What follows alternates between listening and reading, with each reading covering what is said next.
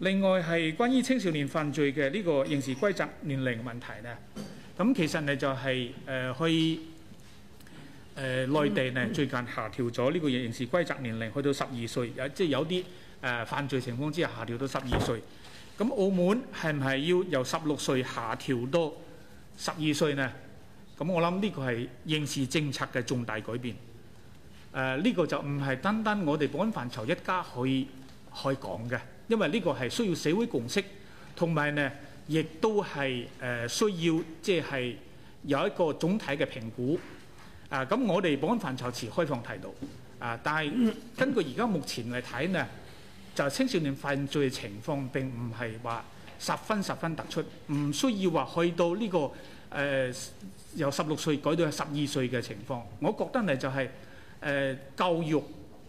呢、個係更加重要嘅，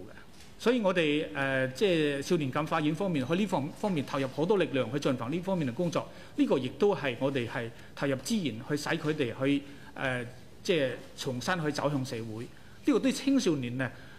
始終我哋係叫治病救人啊，去教育嘅角度呢，使佢能夠重新走走向社會，呢、個係非常緊。